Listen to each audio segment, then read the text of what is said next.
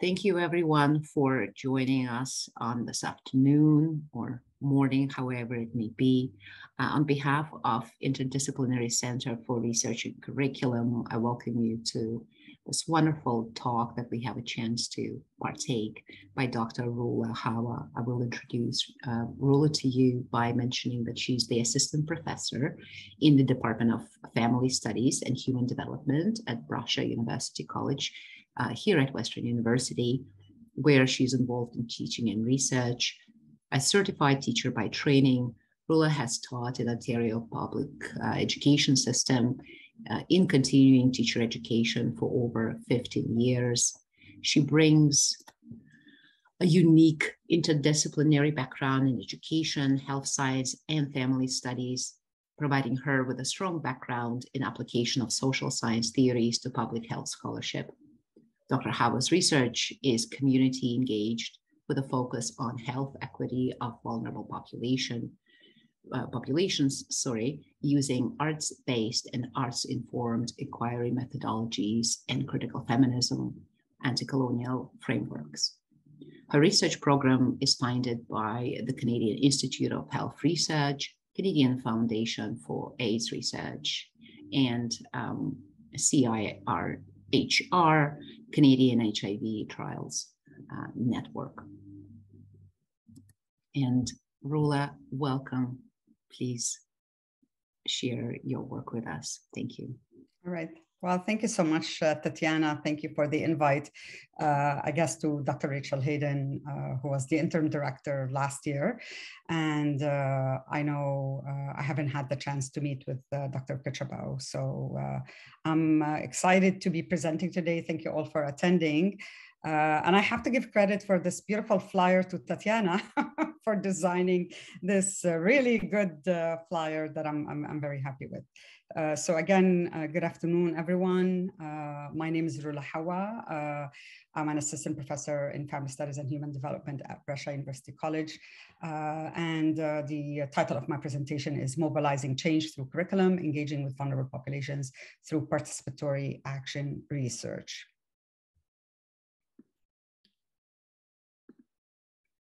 Okay, I would like to start us off with an acknowledgement of the land. Uh, I know we are existing in virtual spaces. It can be easy to forget that we're all very reliant on our physical locations. Uh, I'll start us off with the acknowledgement. As an immigrant and settler on this land, I'm joining you in this presentation from the traditional lands of the Anishinaabeg, the Haudenosaunee, the Lunaapeewak, and Attawandaron peoples, all of whom have longstanding relationships to the land of Southwestern Ontario and the City of London. Uh, here's uh, the agenda or a presentation outline. Uh, I'll start with a very short background literature on the need for housing for women experiencing violence and participatory action research.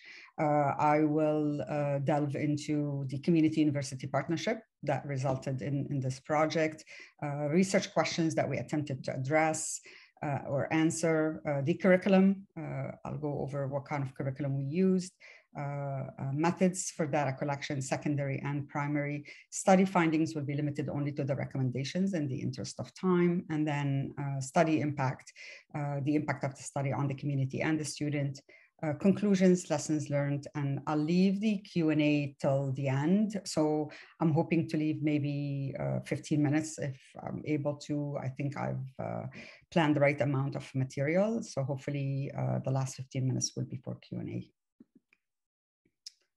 So a bit of background uh, literature, the uh, COVID-19 pandemic uh, basically brought about new challenges. So I have to give you context uh, for the study later on that it actually did take during COVID.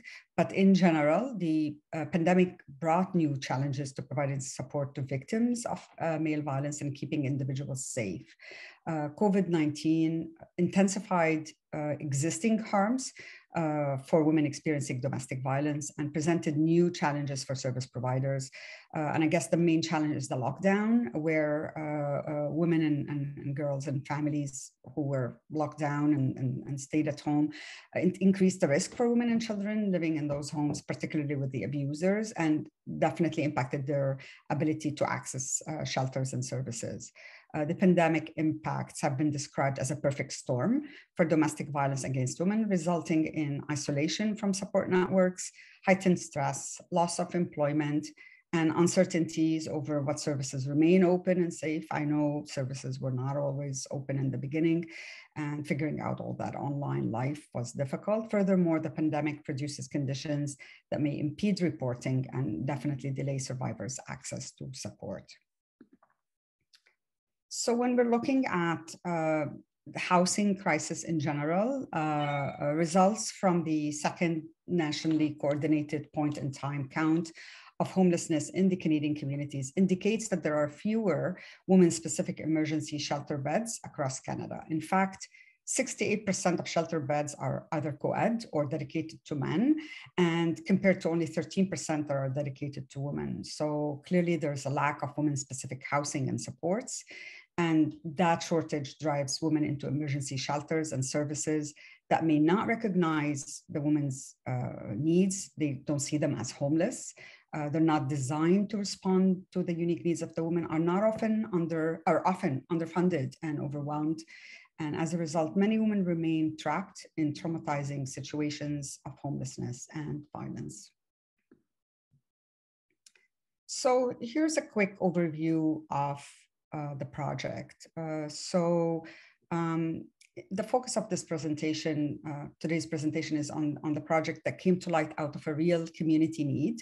Uh, it resulted in a partnership between a family studies program at Brescia University College and housing services in the City of London, community leaders working in the uh, sector and uh, in the City of London, Ontario uh, innovative curriculum was used to educate the students on the current local issues and strategies were developed to influence policy. And, and these are some of the things that I would like to share with you in today's presentation. So the approach used was a very much a participatory action research approach. Uh, we used a critical inquiry method that engaged all the groups in the process in a very collaborative uh, manner. And knowledge was uh, often uh, co-constructed and, and there was a communal process in constructing that knowledge. The goal was making grounds for transformative change. Uh, and, and as we all know, capturing that transformative change is often difficult and challenging. Uh, it was an organic process. There was an authentic community university partnership. Uh, the goal was to educate the students on the local issues. In, in our case was the gender-based violence in the city of London and to develop strategies uh, around policy or at least to contribute to policy relating to housing and gender-based violence.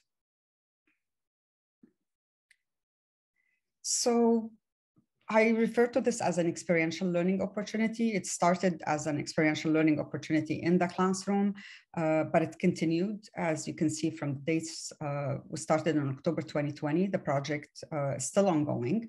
Uh, so how did this project start? I saw a valuable opportunity for experiential learning in my undergraduate class uh, focused on diversity and the Canadian family. This is an undergraduate class that I teach at Brescia. I wanted to provide my students uh, with an opportunity to engage in their own learning. Uh, so uh, um, there was a, a, partnership that developed with London Community Recovery Network. And uh, at the time, because the course took place during COVID, uh, clearly the course was taught online because there was no other way of, of teaching the course. Uh, and uh, again, uh, the opportunity arose with the uh, partnership with the London Community Recovery Network to engage the class. Uh, the network has identified uh, a number of short-term ideas to engage the class. And uh, one of them was uh, shortage of housing and particularly the housing crisis for women experiencing gender-based violence. Uh, I jumped on the idea. I thought that was a great idea. And I think what was really important is it was part of London's strategic plan. So which meant there's a real and authentic need for this work. And I thought uh, this is great. That's a great opportunity for the students to work on something that the city needs, and hence the, uh, the partnership developed. So the first thing, part of this process is co-creating those research questions. Uh, so how does the housing system meet the needs of women and girls fleeing violence? So to, to go through this co-creation piece, there were a lot of meetings that took place uh, and uh, to honor the participatory approach, uh, uh, we sat, uh, a team of us, uh, including myself and, and particularly uh, uh, housing services in the City of London, to look at what does the city need and, and what is feasible in terms of involving the students in something that's authentic and real and achievable as well within the time that they are involved in the course, not knowing that this will actually continue for two years. Uh, so it was very important that we, we do that co-creation uh, process. The second uh, question that we looked at is what special support should be put in place to help women and girls fleeing violence access and retain housing? And the third research question, how has the COVID-19 pandemic impacted the risk for family violence and access to needed uh, housing services? So here's a timeline uh, that I'm sharing with you uh, to show you the phases that the project went through. Um, so as you can see in, in phase one, and, and things really started early in the planning. So there's ton of planning and work that goes behind the scenes before you provide those opportunities. Uh, the partnership was formed in October 2020, and uh, an expression of interest was sent by Housing Services to facilitate the work uh, to uh, sector leaders in the uh, gender-based. So these are leaders already working in the City of London. And the memo indicated you know, there's a class, there's someone interested, a professor interested in the work. Do you think you're able to participate in, in this initiative? Uh, so uh, we had uh, an overwhelming interest of around 10 leaders from the sector who said, yes, we're, we're definitely interested in contributing. Um, phase two was data collection, and, and I'll walk you through uh, the, the, different phases. I think the mostly the focus will be on phase two for today. Uh, so we did secondary data. So that was the gap analysis. There was primary data. These were interviews, and the interviews were with uh, sector leaders. And uh, then there's analysis and, and report writing. Uh, in my planning for, for the course, I wanted to make sure that I'm disrupting the curriculum, uh, I see the curriculum as a process, it's dynamic, it evolves. I didn't want my planning to be confined within the semester. Uh, I didn't want this to be a project that would end with the with the course. And I think the fact that the uh, city uh, was helping with making the connections helped the project to continue. So uh, I was very grateful for that. So I, as you can see here, this is the timeline. Um, as you can see in, in the uh, bottom right-hand corner, IKT, and IKT in, in, the language of research is integrated knowledge translation, which means we translate the uh, data that we get throughout. We don't wait until the project ends. There's always translation of some of those findings, and, and there's the engagement piece, which is extremely important when you're doing something like participatory action research, when you're involving a lot of partners. And as I mentioned, the focus today is on phase two. So this is, again, I'm not going to go with all the uh, tiny details, but this is an overview of what the planning took place and what kind of planning took place. So preparing all of that for the students in the semester took really months of work prior to the beginning of the semester because I had to make sure all the players are on board and we, we didn't know to be honest whether you know all the players will be on board. I mean people were strapped for time. It was during the pandemic. So it was challenging times. And uh, again the easiest way of, of getting that done during a pandemic is to bring the community to class. Uh, that required a lot of prior learning and, and planning as i uh, indicated uh, the community, the uh, leaders from the sector did actually respond to the invite and, and they were willing to give time and support to the students. Uh, as you can see, I mean, in addition to everything else in the course, um, these were uh, synchronous sessions and each session is three hours. So it's hard. I had 51 students in the class. And on top of that, I had the leaders the, from uh, the, the VOW network. I had the city. Uh, I had City Studio, who's an organization that helps bridge some of those uh, partnerships as well. So I had something like 60 something bodies, at least close sometimes to 70 uh, people in, in, in, that forum. So it was, uh, you know, quite a bit to, to navigate. As you can see, uh, uh, again, this is just a very quick overview. Uh, during those uh, visits, uh, there's an initial visit from uh, the City of London staff, and then visit two, I prepare the students so that they can work on their project, and, and they come back and they met with the students with definitely via Zoom, all those rooms that we, we met in, trying to navigate all this new technology technology again that was also challenging. So breakout rooms was was one of my best friends during uh, that time. And uh, students were in, in, in, groups and they met uh, with their groups to get feedback from the city because they're the experts the BOW leaders were the experts. So they were firsthand working with the students. There's more feedback from myself. And then as you can see uh, towards the end that was their third visit to my classroom. And uh, in their third visit they gave feedback on the final project uh, there were some recommendations that the BOW leaders provided. So making sure all the analysis is aligned, the language is proper. So all of that work happened during class. So methods and data collection, uh, again, uh, there was secondary research. So uh, the secondary research involves needs assessment, environmental scan that the students did. Uh, primary research involved interviews with community leaders. And again, uh, as I mentioned, these were community leaders in the sector, and then final report writing secondary data analysis in particular around situational analysis. So something was really helpful from the city is they gave us access to uh, programs and, and, databases to the students. So the class had access not only to websites that are available publicly, but also to programs uh, that, that were offered particularly to attend to uh, women who are experiencing gender-based violence and housing. And uh, students worked with this humongous amount of data set. They reviewed websites and programs and organized them into themes and uh, they basically conducted a gap analysis. So they addressed the question, what are some of the unmet housing needs of women and girls in the London Middlesex area who are fleeing violence? Students uh, listed issues that are important based on programs in London Middlesex. They also uh, organized their data, determined what emerged as areas of concern. So that was the secondary data uh, set uh, that is part of the study. Also, the study involved primary data collection and uh, in order for the students to conduct interviews, they had to be trained. And uh, so our research officer, uh, along with myself and uh, a small team from the community, we trained the students on interviewing skills. How do you interview properly uh, sector leaders?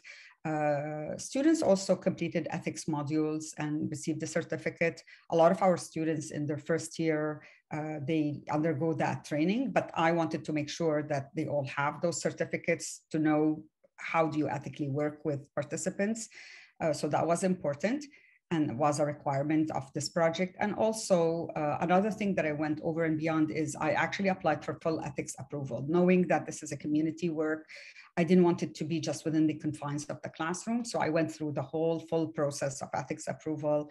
Uh, and of course that took months of time. And, uh, and uh, I got a release from Brescia Research Ethics Board to conduct the study. So in-depth interviews, uh, very important, uh, again, honoring the spirit of the uh, uh collaborative pieces in, in action research. We co-created a semi-structured interview guide. So that was with the help of the uh, city staff, uh, particularly housing and, and, experts in the field. so we looked at the gaps. So we bridged the secondary data that the students basically from the research, and we looked at that to inform the questions so that we would understand what what kind of questions we need to ask about uh, sector leaders. Uh, a total of 12 volunteer leaders from the sector participated in in-depth interviews. This was all during in the midst of COVID, so everything was done virtually. In-depth interviewing took between 60 to 75 minutes. Um, so one particular uh, way of, of uh, basically uh, uh making the designing the uh, uh, interview guide is to follow a, a SWOT analysis. So what we did is in that particular interview, BOW leaders shared their thoughts on, on how the local housing system is meeting or not meeting the needs of women and, and girls fleeing violence. Uh, the interview guide followed a SWOT analysis. So meaning Students asked uh, the leaders, our leaders during the interview about strengths, what processes or programs in the City of London are working well, uh, weaknesses, what could be improved, what was done poorly, what should be avoided, what did not work. Students also asked about opportunities, what special support should be put in place to help women and girls fleeing violence, or access and retain housing? Uh, do you see any opportunities that are missed and probably you know we need to kind of work on? What would you do in order to be more effective in the future? Students also asked about threats. What are some of the barriers and threats to the housing system in meeting the needs of the women? And then what obstacles are women and girls facing and what needs to be done uh, in preparation for post-pandemic times. And the last point, which is what I'll be sharing today, is the recommendations. Uh, we've shared findings from this work in different venues at CSSE 2022, uh, Canadian Association for Studies in Adult Education, uh, and, and we share different parts of the study and, and, different findings. And today I'm only sharing the recommendations. And uh, so the importance about those recommendations is these are not recommendations we put forward. These are recommendations provided by the leaders and we kind of collated them with the help of the London Abuse Women Center, which becomes our significant partner. And I'll talk about that in a second. So again, uh, as I mentioned, the focus on today's presentation is just on the recommendations. I'll let you uh, take a, a, a, minute to look at the study recommendations. I'm going to walk you through those recommendations one by one briefly. Uh, very significant about those recommendations is after the course ended, London Abuse Women Center leadership team approached me and said, we want to be on this project.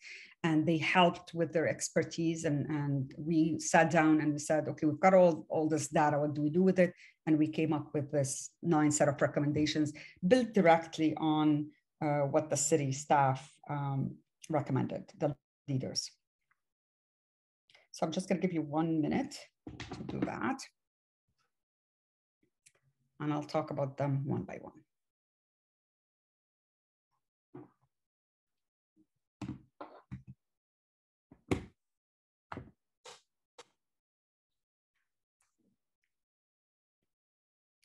Okay, so let's take a look at those recommendations. Uh, the first recommendation, again, these are all provided by the uh, leaders in the city. Uh, the first recommendation is ongoing opportunities to be provided by the City of London to engage women and girls with lived experience. And uh, as we all know, leaders can provide recommendations, but the voice of women with the lived experience really is, is significant. Uh, so something very important that the voices of women, when the city came up with their strategies for creating a safe London for women and girls, and with their strategic planning, uh, they involved uh, women and girls with lived experience in, in that initiative. So one of the recommendations that's coming from the leaders is basically they're asking the city to continue to engage the, the women in other opportunities. So not only in determining what the uh, uh, initiatives are and, and what the strategic planning is, but also to uh, keep going with opportunities for them to make sure their voices are always heard. Another recommendation is funding to be provided by the City of London for priority access to housing, shelter, and community services for women and girls fleeing violence. So as we all know, the risk of further violence to women and, and children increase when they're not, they don't have immediate access to safe shelter and housing. So the recommendation, the main recommendation was the city needs to provide funding to ensure immediate access to shelter and housing with community support specific to the needs of abused and trafficked women and girls. Third area is prioritizing funding to immediate access to long-term or longer-term trauma-informed counseling. So uh, they were very big on the importance of counseling. And while the women are waiting to get to be uh, placed in houses, they need counseling. So that was a very important area. So City of London must prioritize the safety of women. Again, uh, they do that by making sure that they fund immediate access to organizations that provide trauma-informed long-term counseling, survivor center support. So it was important that funding be provided for those organizations. And the city can work at all levels of government. That was always something that I heard throughout the study is we need to involve all levels of government, not just city, but also the province and, and federal uh, money as well. And the whole idea is to provide stable and long-term funding. Third uh, recommendation is to, to have proactive policies. And, and we know policies can drive change, planning and development for better housing infrastructure to be implemented. So City of London is encouraged to work on all levels, again, of government proactively plan and develop policies to improve infrastructure and, and infrastructure.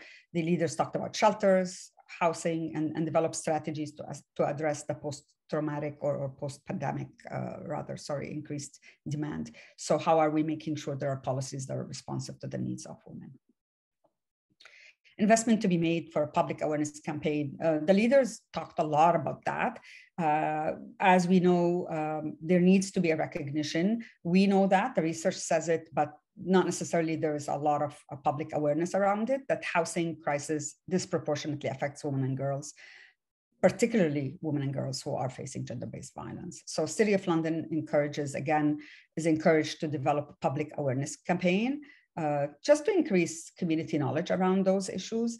Uh, landlords need education and training. So uh, one of the recommendations is uh, landlords need to be willing to provide survivors with safe housing. And, and often a lot of the women are faced with obstacles with not finding housing because landlords don't want to have tenants uh, who are women or survivors and their young children. Another important piece that's important around public awareness is uh, nonprofit agencies not only rely on funding, but also sometimes get uh, a lot of funds through fundraising. So creating an awareness around the issue is very important.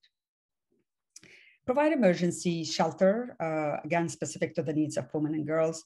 Uh, during the pandemic, a lot of the women and girls were housed in hotels and motels. And, and the issue with that is uh, it also, uh, you know, they're known places. And when they're known places, you know, abusers or uh, sex trafficking, uh, they, they, you know, they can actually know where they are and they can target them because they're in hotels and motels.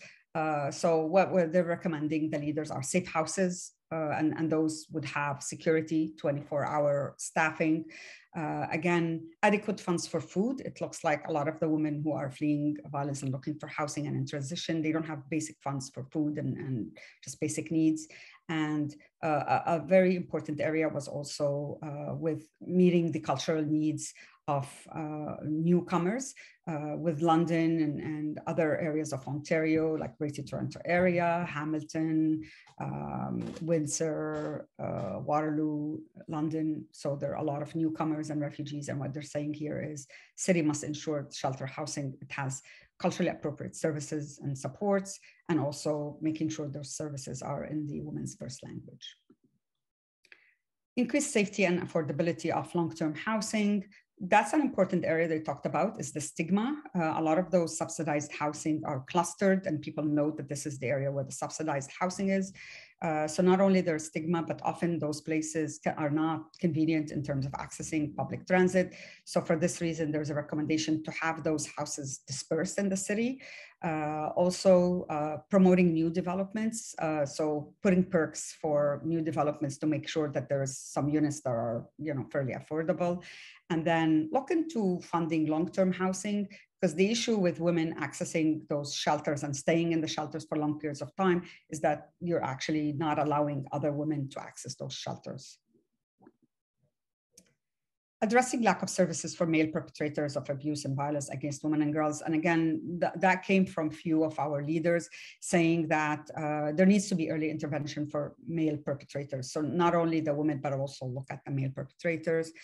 And uh, this seems to be a little bit radical, but it has a lot of merit to it. Justice system may be moving to order the men or the males to, to leave the home as opposed to the women. So the women and their families and their kids stay, and then making sure that the men are somewhere in a shelter for male abusers. And, and for this reason, just kind of flipping the coin, making it slightly different. Provide training on being trauma informed to housing and homeless prevention staff. And, and one of the recommendations is making it mandatory for to train all city staff on providing trauma-informed services. And the reason for that is that it creates more sensitivity towards serving the women. They can help them navigate some of those complex forms to access housing if they're sensitive to the needs of somebody who's exposed to trauma. So that trauma-informed uh, training is, is critical. And also uh, staff training uh, in terms of uh, particularly those uh, who provide uh, services to increase staff capacity. So making sure that they have that lens while serving the women. So what is the impact of this project on community and students? So I'll start you off with student impact. Because this was facilitated by a partnership through City Studio uh, London at the time, at least in, in the beginning, uh, students were uh, to share some of those findings, and this is the integrated knowledge translation uh, through uh, a really a conglomeration of, of other student groups and community and the city. And HUBBUB is an event uh, that basically has all of that. So city staff are there, the mayor is there, uh, a lot of nonprofit organizations are there, funders, uh, student groups. So uh, students in my class, we picked a group and uh, so they presented uh, their work. Uh, they made it called, they called it out of the frying pan and into a home. they created a poster and again, with the hope that this project can create some awareness.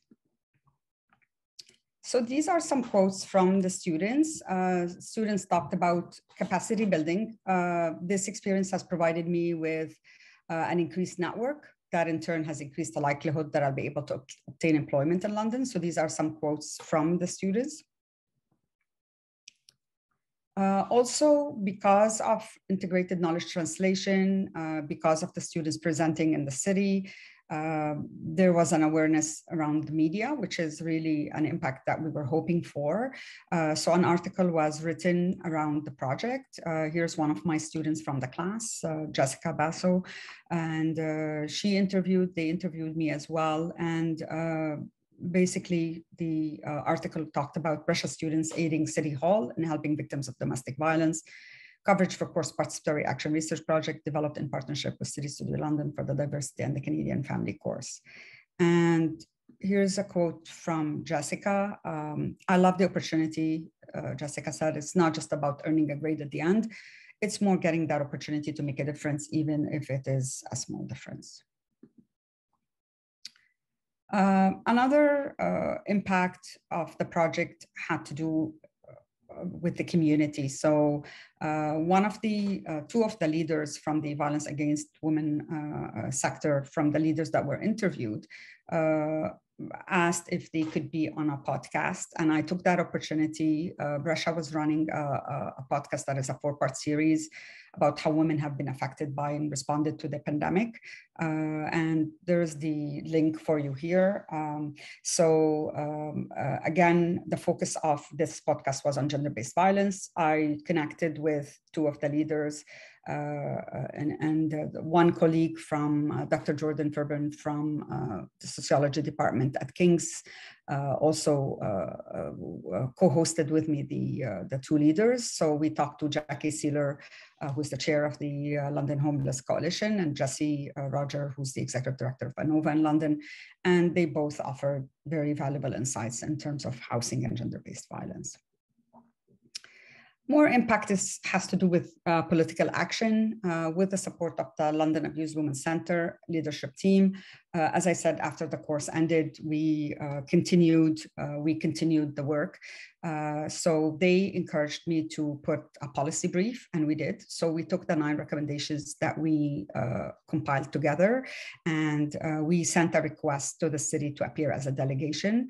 And the committee that handles that is the City Strategic Planning and Policy Committee to present our findings. So we basically asked them, we shared the findings in, in a policy, the recommendations, and we asked for a delegation status to be granted. And here's just the minutes from uh, the city, as you can see on the right-hand side. Uh, we requested for delegation status and delegation status actually was granted. More on community impact, the outcome. So the focus of the work is on uh, LAWC's Survivor Advisory Committee. So what we did in year two, as I mentioned, it did not stop with the course ending. So in year two, uh, we focused on uh, the LAWC's Survivors Advisory Committee. And again, without the London Abuse Women's Center, we could not have engaged with the community to this extent. We could not have made a difference in terms of the policy and, and presenting to the city. So the community has to buy into those initiatives. And because it was authentic, because it came from a real need, uh, the community believed in it. And I think that was a very critical component in, in this particular project.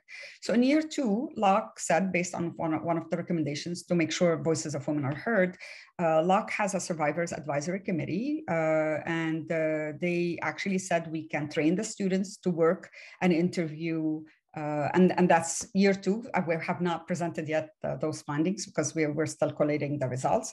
Uh, so they said, why don't the students get involved with the Survivors Advisory Committee? They will interview them. And, and this way we not only hear from the leaders, but we also hear from the survivors themselves. So the second year uh, in the project, uh, we had something came out positive out of this city, the delegation status presentation. We got a member from the counselors, counselor Phil Squire, who came the following year. So that was winter 2021, and he came to my class in winter 20 and fall 2021, and he presented to the students. And uh, you know, he said that he believes in the project. He's also a lawyer, uh, and I don't believe he's still in, in city council. But also something really positive came out of this is a counselor who listened on to our presentation when we presented and we had that delegation status is uh, uh, Councillor Elizabeth Peloza, who's running, so I can put a plug for Elizabeth. She's running for Ward uh, 12, and uh, uh, and she actually came to class along with uh, staff from LAWC to train the students in terms of trauma-informed interviewing skills. How do you deal with vulnerable populations? Ethics, of course, and and we extended our ethics approval for the project. So final thoughts, lessons learned, um, there needs to be an organic process. If you're doing participatory action research, needs to be an organic process stemming from a real need. Um, there needs to be a need to engage all the groups. That, that's important. Uh, it has to be collaborative. Uh, knowledge needs to be co-constructed. You need an, an innovative curriculum uh, to capture that. So you need to have all the players engaged in a, a, a really a process that is kind of set and known you need to have built-in strategies for impacting policy. At least we hope. We tried with creating the awareness with the brief that we had with the follow-up from the city council. Uh, Elizabeth Peloza is the one who handles the funding uh, for the city. So that's also uh, good for us in terms of uh, accessing extra funds you need time and energy. this work is really, really very tiring. If you're thinking just to teach a course and, and uh, yeah, that's not, not the way to do it.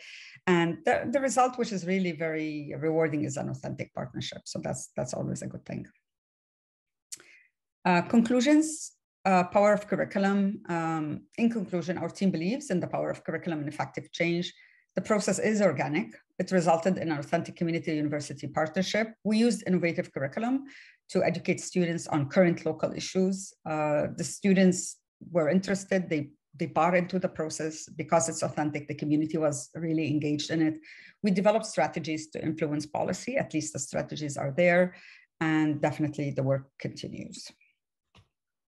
I would like to acknowledge the help of all the key partners, uh, the, the, outgoing, uh, who's now a retired executive director, Megan uh, Walker from uh, London Abuse Women's Center, uh, and, and, Jennifer Dunn, who was the incoming but was associate director for many years, uh, I still work with Jennifer and, and, the LAWC team. We're still collaborating. We collaborated on presentations. We collaborated on, on papers, on second year, continuing the work and the process. Could not have done it without their help uh, and their partnership. So Jennifer Dunn, Sandra Lynn Coulter, Wendy Goldsmith, Mai Said, uh, Patty Brindle from London Abuse Women's Center.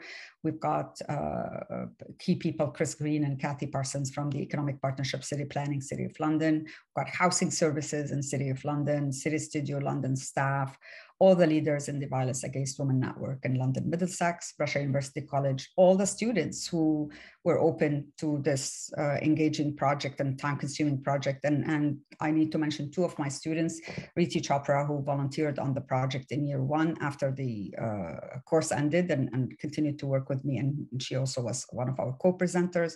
And currently I have uh, Mana Charma, who is uh, the uh, work study student who's continuing the work for the second year at, as a student, uh, paid student by Brescia.